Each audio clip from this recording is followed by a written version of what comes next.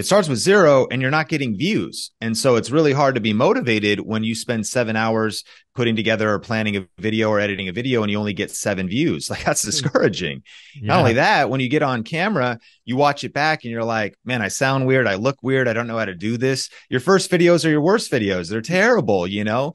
And and then you're comparing yourself to you've done 9000 videos. I think that's the thing the listener needs to consider though is that like y- your openings dialed you're, t- you're you're putting three interviews you got all these you know experts lined up millionaires lined up sharing their information.